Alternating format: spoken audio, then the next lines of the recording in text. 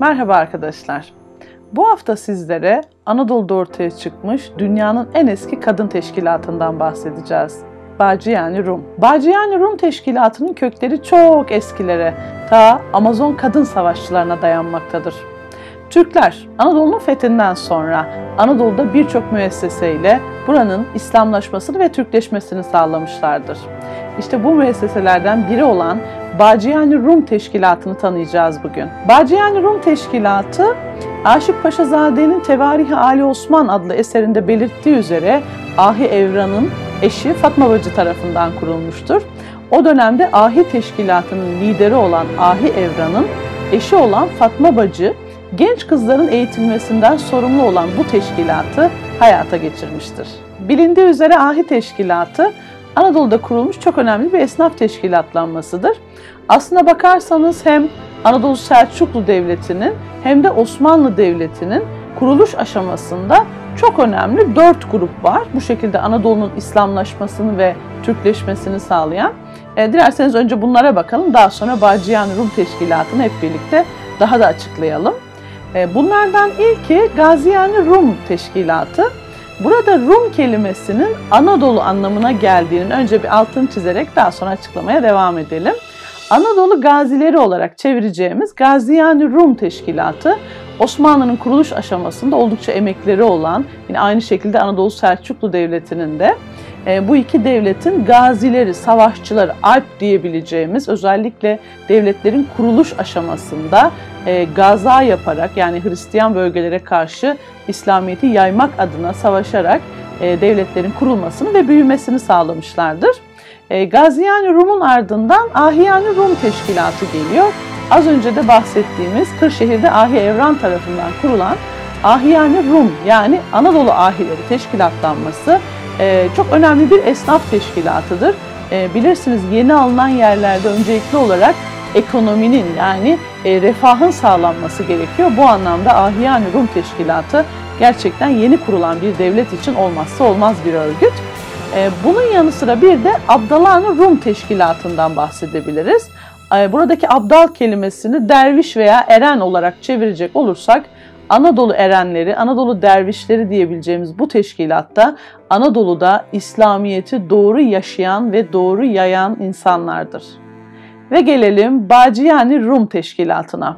Anadolu bacıları yani Anadolu kadınları olarak çevirebileceğimiz bu teşkilat hem Anadolu Selçuklu Devleti döneminde hem de Osmanlı Devleti'nin kuruluş aşamasında eşsiz hizmetleri olan bir teşkilattır. Peki Fatma Bacı tarafından kurulan bu teşkilat ne yapardı, neler yapardı dilerseniz şimdi bundan bahsedelim. Hacı Bektaş Veli'nin menakıbnamesinde bahsettiği üzere Bacıyani Rum Teşkilatı genç kızların eğitiminden sorumluydu. Genç kızlara yemek pişirmekten çocuk bakımına, örgü örmekten biçki dikişe kadar e, her şeyi öğretirlerdi. Bunun yanı sıra binicilik, atıcılık gibi savaş sanatlarında da ustaydılar. Yani savaşta ve barışta Türk kadınının gücünü göstermek için Anadolu'da kurulmuş eşsiz bir başka örneği olmayan bir teşkilattı. Bacıyani Rum Teşkilatı. Yine bir başka önemli tarihçi olan Fuat Köprülü de eserlerinde Anadolu'nun e, Türkleşmesi sürecinde, Osmanlı'nın Anadolu'ya yerleşmesi sürecinde Bacıyani Rum Teşkilatı'nın oldukça önemli olduğundan bahseder. Yine bir başka önemli isim Ömer Lütfi Barkan da Bacıyani Rum Teşkilatı'ndan söz ederken onların yeni alınan bölgelere iskan edildikleri ve bu anlamda da yeni alınan bölgelerde e, Türk kültürünün ve İslamiyet'in tanıtılması evresinde oldukça faydalı bir teşkilat olduğundan bahseder. Dilerseniz biraz da yabancı kaynaklara bakalım. Bir Arap gezgini olan e, Tunuslu İbni Batuta'dan bahsedelim. İbni Batuta e, biliyorsunuz bir gezgin ve Anadolu'ya gelmiş. Anadolu'yu gezen İbni Batuta burada değişik bir halden bahseder. Burada kadınlar çok dik yürüyüşlü ve gösterişlidirler der. Erkeklerin yanında o kadar dik yürüyorlar ki e, şu adam şu kadının hizmetkarıdır dersiniz diyor. Yani burada Anadolu kadınlarının ne kadar kendinden emin ve dik duruşta olduklarına e, şaşırarak tanık olmuş İbni Batuta. E, bunun dışında yabancı tarihçilere baktığımızda özellikle Avrupalı tarihçilere baktığımızda Bacıyani Rum Teşkilatı'nın yani bu kadar eski bir döneme Anadolu Selçuklu Devleti'nin yıkılışı Osmanlı'nın kuruluşu dediğimiz zaman 12. 13. E, yüzyıllardan bahsediyoruz. Bu yüzyıllarda böyle bir kadın teşkilatlanmasının olmasına oldukça şaşırarak ya mutlaka bu bir çeviri hatasıdır demişler. Yani Bacıyani Rum yanlış bir e, karşılıktır demişler ve bir takım teoriler üretmişler. Acaba başka ne olarak okunabilir diye. Mesela Hacı yani Rum'dur demişler. Yani Anadolu hacıları. Öte yandan Bahşi yani Rum diyenler var. Yani Bahşi burada kutsal anlamına geliyor. Anadolu kutsalları.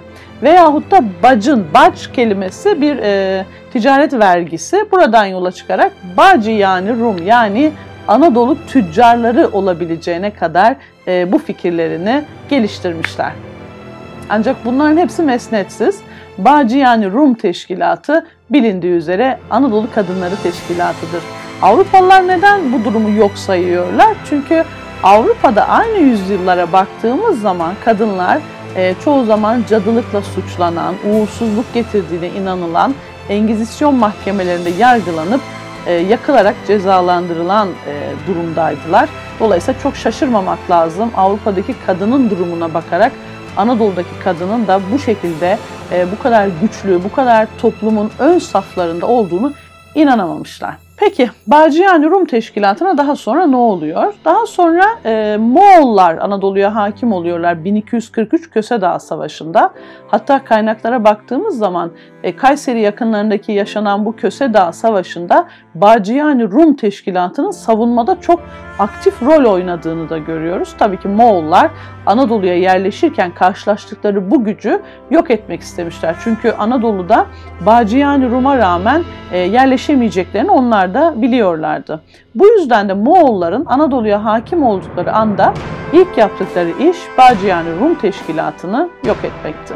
Amazon kadın savaşçıları veya Bacıyani Rum. Adına ne derseniz deyin, Türk kadını her zaman toplumun ön saflarında yer almasını, üzerine aldığı sorumluluğun altından kalkmasını bilmiştir. Umarım videomuzu beğenmişsinizdir. Bir sonraki videoda görüşmek üzere. Hoşçakalın. Kanalımıza abone olmayı, bildirimleri açmayı ve lütfen videoları beğenmeyi unutmayınız. Teşekkürler.